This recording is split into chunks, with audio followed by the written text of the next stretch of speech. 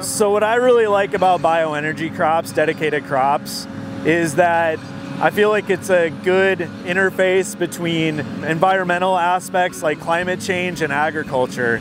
And for me, growing up on a farm, I feel like it's a good place where I can find common ground with people that don't necessarily agree with the typical aspects of climate change. All farmers are interested in newer, bigger equipment. And the cool thing with these crops is that we're growing bigger and bigger crops and uh, we're growing them for a purpose of producing fuel and while at the same time sequestering carbon. I'm Andy VanLoocke. I'm the uh, PI for the experiment here at the Sustainable Advanced Bioenergy Research uh, site called SABRE and I've got Madelynn with me. Hi, my name is Madelynn. I am a second year master's student working for Andy and my project focuses on using the observational data from this site to support our models, our agroecosystem models, so we can use this data here to validate those models and improve them so that way we can extend the knowledge we learn from modeling at this site to other places.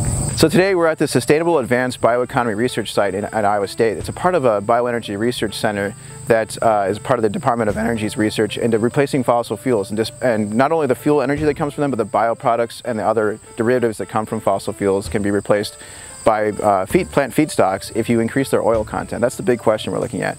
So the uh, Bioenergy Research Center that we're a part of is called CABBI, the Center for Advanced Bio, Bioenergy and Bioproducts Innovation. Two of the main feedstocks we're looking at here are biomass sorghum. As you can see, it has a very different life cycle compared to corn and soybeans. It's still growing green. We're going to harvest it green today and we're going to deliver it um, to uh, a facility that will compost it. Ideally, along, in the longer term, we would harvest this sorghum, squeeze out the large levels of oil we, hope to have in them one day, and use those to displace a lot of fossil fuel products that come in that uh, supply chain. So where we're standing right now is among our small plots. Each individual plot flows to a drainage pit. And in that drainage pit, we're monitoring what the flow rate of the water is through that pit. And then we're also taking samples of the water that fell on these plots and moved underground into the pits. That helps us understand how does each different crop remove nitrates from the soil and inhibit that nitrate from being leached or moved by the water.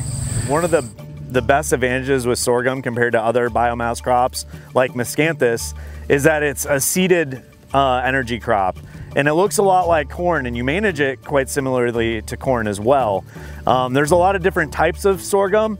There's uh, biomass sorghum, which we're working on today, which is more of a novel type of sorghum. There's sweet sorghums, and there's forage sorghums, and there's seeded sorghums. There are many different types of sorghum, but the, the variety we're working on and focusing on is a biomass type sorghum, which is bred to basically grow as tall as it can without flowering because in sorghum like other crops other plants as soon as it produces a flower it typically stops growing vegetatively. So this particular type of sorghum has been bred specifically to not flower and continue growing as long as there's sunlight if we're going to uh, change the landscape and grow different crops, we want to make sure that when we do so, we don't alter things in a way we, we would not like to have. And we know in Iowa, one of the biggest questions about the way we manage our landscape and our cropping systems is water quality. So the plots that we're looking at today are designed to monitor water quality for our novel feedstock, sorghum, compared to corn and soybeans. So as Madelynn mentioned, uh, we're, we're monitoring the water that flows through these fields at kind of a field scale to get a representation of what it would be like if a farmer were to adopt these practices. It's not a great time to see it right now, but some of these plots actually have cover crops as a part of their experimental rotation. So if we were to come back in just about a month or so, we would see there, uh, some early evidence of emerging rye cover crop that is designed to help with this kind of shortened life cycle of sorghum. We're harvesting it before corn, right? So it's designed to help reduce the probability that water would run off with high levels of nitrate in it into our drainage systems and into the waterways. And so to, to, to provide evidence for that, this, the, this experiment is really a key uh, piece of that. I'll start with the ground and we'll move our way up. So first, we have four different soil chambers and unfortunately these are not in action right now due to harvest. So these are the collars for the chambers. And the white chambers that actually do the measurements sit on top of these uh, collars and this allows us to get measurements of the gases being emitted from the soil alone. So between these soil flux measurements and the measurements we get from the tower, we can take the difference of those to see how much gas is being emitted from the crop itself. Um, because when we think about um, systems and gas leaving systems, well, that's a combination of the soil and also the crop. So we separate those two measurements so that we know how much is actually coming from the crop itself. It wouldn't be possible without a collaboration between multiple professors and especially two of my colleagues here at Iowa State. So those are Marshall McDaniel in agronomy and Adina Howe.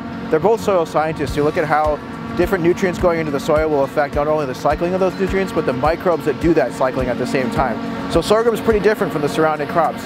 So most likely it's going to affect the microbial processes that are going on as well. So here we're standing next to an eddy covariance tower that's doing kind of a real-time monitoring of how the carbon's going in and out of the atmosphere and the soil. I can guarantee that after this machine harvest, harvester goes through, we'll be able to pick up a very different signal. No longer will we be seeing photosynthesis of carbon being drawn down from the atmosphere in this system. We're going to see mostly a loss of res respiration from our system driven by microbes. So my colleagues Marshall and Adina helped me characterize how that's happening, what's driving it, and what that might mean for the broader landscape.